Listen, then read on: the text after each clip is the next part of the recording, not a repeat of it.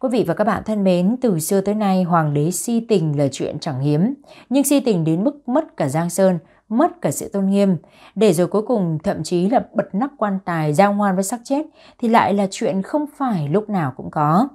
Hoàng đế nước Hậu Yên Mộ Dung Hy chính là ông hoàng đế quái đản, vô tiền khoáng hậu đó. Câu chuyện về vị hoàng đế này ra sao thì hãy cùng Hồng Nhung lắng nghe ngay sau đây quý vị nhé. Năm 395, hoàng đế nước Hậu Yên khi đó là Mộ Dung Thủy đem quân tấn công Bắc Ngụy. Thùy sai con là thái tử Mộ Dung Bảo làm thống soái dẫn đầu 8 vạn quân tấn công Bắc Ngụy. Không ngờ, chỉ sau một trận ở dốc Tham Hợp, 8 vạn quân tiên phong lẫn hai vạn quân tiếp viện bị tiêu diệt sạch không còn một mống. Sau trận Tham Hợp, hơn 4 vạn tù binh Hậu Yên bị vua Bắc Ngụy hạ lệnh dùng đá chôn sống toàn bộ.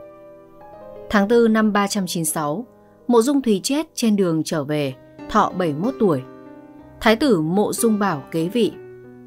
Hai năm sau đó, năm 398, Mộ Dung Bảo đem quân đánh Bắc Ngụy lại thua to, chạy về đến kinh đô Long Thành thì bị chính cậu là Lan Hãn giết chết.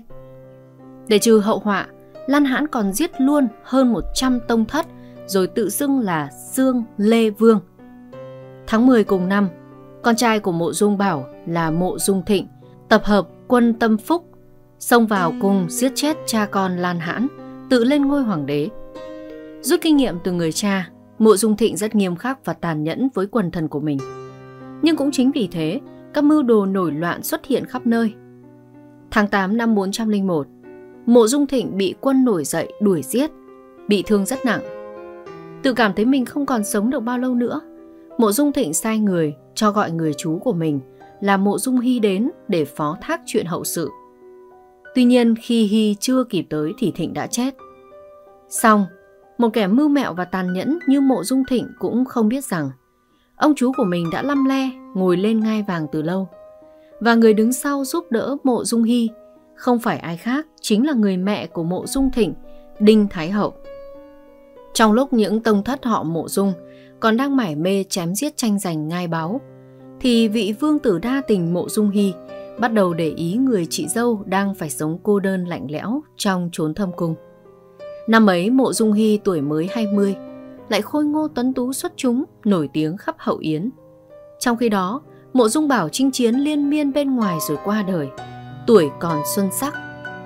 Đinh Hoàng hậu đã phải lên trước Thái hậu, một mình lạnh lẽo trong cả cấm cung rộng lớn, không một bóng đàn ông. Vì vậy chuyện hai người đến với nhau cũng chẳng có gì là lạ. Bất chấp triều thần phản đối, Đinh Thái Hậu quyết chí lập mộ Dung Hy lên làm hoàng đế. Thế là bằng vẻ ngoài tuấn tú và mối tình với bà Hoàng cô độc, Mộ Dung Hy đã leo lên được ngai vàng một cách dễ dàng. Nhưng Mộ Dung Hy chẳng vì thế mà trung tình với Đinh Thái Hậu.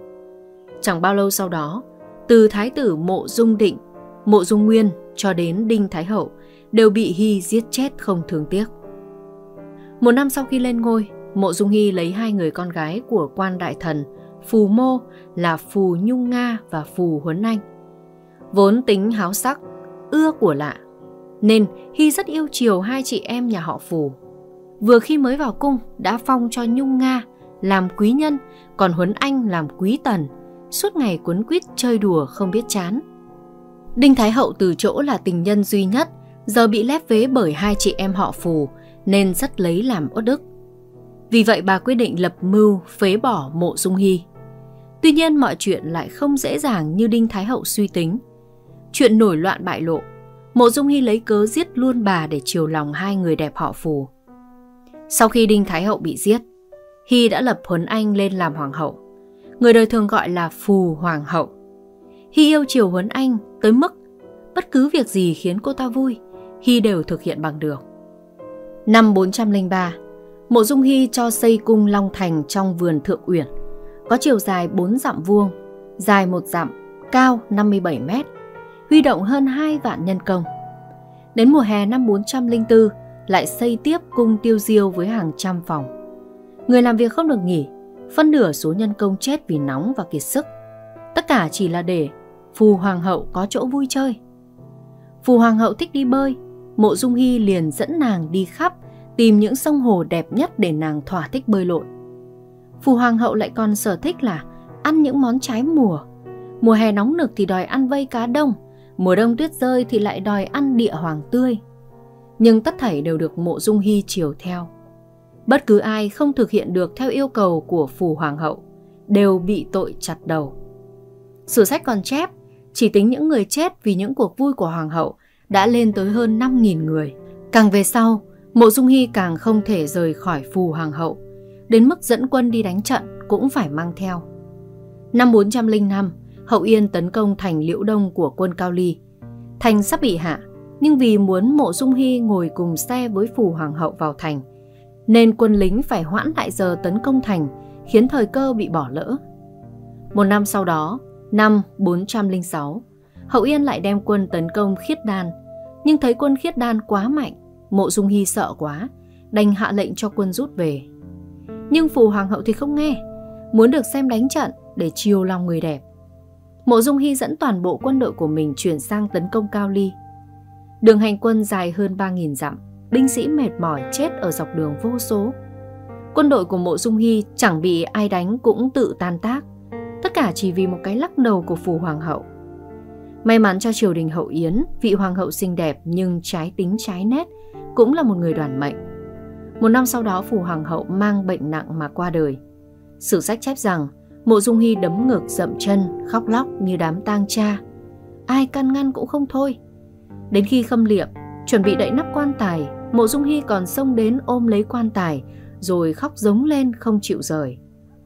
Cuối cùng không chịu đựng được sự chia ly phũ phàng ấy, Mộ Dung Hy ra lệnh mở nắp quan tài của phù hoàng hậu, rồi trèo vào bên trong, giao hoan cùng người đẹp suốt mấy ngày liền không chịu ra. Si tình và bệnh hoạn đến như Mộ Dung Hy, có lẽ cổ kim chỉ có một. Có điều cái giá mà vị hoàng đế này phải trả cho điều này thì lại quá đắt. Sau nhiều ngày rằng co trần trừ, Mộ Dung Hy mới sai người đậy nắp quan tài để đưa thi thể hoàng hậu vào linh đường. Để tỏ lòng thương tiếc, Mộ Dung Hy còn hạ lệnh cho các quan phải khóc thật lớn. Ai khóc to, khóc nhiều sẽ được thưởng, ai không khóc sẽ phải chịu tội. Chưa hết, khi đưa quan tài hoàng hậu đi chôn cất, Mộ Dung Hy còn đầu trần chân đất đi bộ theo xe tăng ra khỏi cung đến hơn 20 dặm. Vì xe tăng quá cao không ra được khỏi cổng thành, Mộ Dung Hy ngay lập tức hạ lệnh phá đổ cổng thành phía bắc để đưa xe tang ra. Người dân kinh thành đến xem ngán ngẩm than rằng họ mộ dung tự phá quốc môn thì làm sao mà bền lâu được. Sau đó để thể hiện tình cảm chân thành của mình với phù hoàng hậu, mộ dung hy còn cho xây dựng một lăng mộ rất xa hoa rộng lớn gọi là Trinh Bình Lăng. Dự định sau này sẽ chôn cùng với phù hoàng hậu tại đây. Ngoài ra chị dâu của mộ dung hy là Trương Thị vì là người có chút nhan sắc cũng bị hy ra lệnh phải tuẫn táng theo phù hoàng hậu cho có bạn. Những người dân hậu yên thấy những chuyện hoang đường mà mộ dung hy làm, chỉ biết nhìn nhau lắc đầu mà rằng hậu yên sắp bị diệt tới nơi rồi.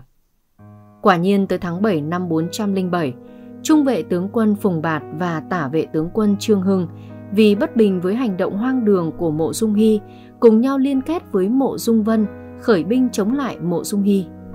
Quân của mộ dung vân nhanh chóng đánh bại quân của hy. Hy thua trận, chạy về cung cải trang quần áo thường dân để trốn chạy, nhưng chưa được bao xa thì bị bắt. Mộ Dung Vân ra lệnh giết chết Mộ Dung Hy bêu đầu giữa chợ. Cuộc đời vị hoàng đế hoang dâm và hoang đường bậc nhất trong lịch sử Trung Quốc kết thúc. Quý vị và các bạn thân mến và đến đây thì thời lượng phát sóng của chúng tôi cũng đã kết thúc rồi. Chân thành cảm ơn sự quan tâm theo dõi của quý vị và các bạn. Các bạn đừng quên bấm like, subscribe đăng ký kênh để chúng ta tiếp tục theo dõi được rất là nhiều những câu chuyện hay mà Hồng Nhung sẽ chia sẻ trong số phát sóng tiếp theo vào ngày mai. Hãy bấm like và đăng ký kênh quý vị nhé. Còn bây giờ thì Hồng Nhung xin thay mặt cho ekip sản xuất của chúng tôi. Xin chào quý vị và hẹn gặp lại.